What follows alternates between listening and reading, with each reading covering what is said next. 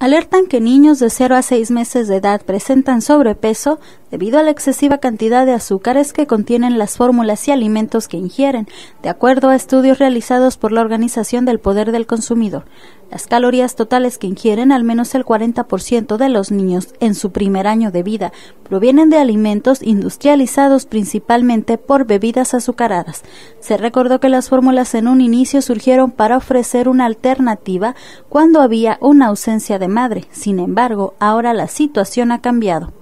Pero en el momento en donde esto se hace casi una obligación, existen muchas madres que quieren amamantar, y que, y que se les dice claramente no, su leche ya no sirve, ya de o las regaña.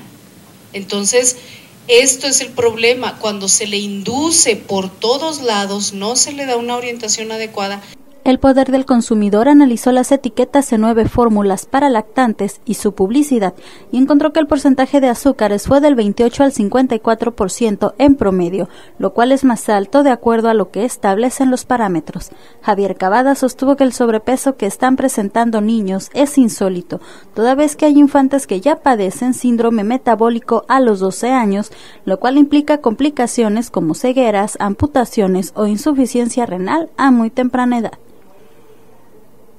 Violeta Chávez Morales para Noticieros Nuestra Visión.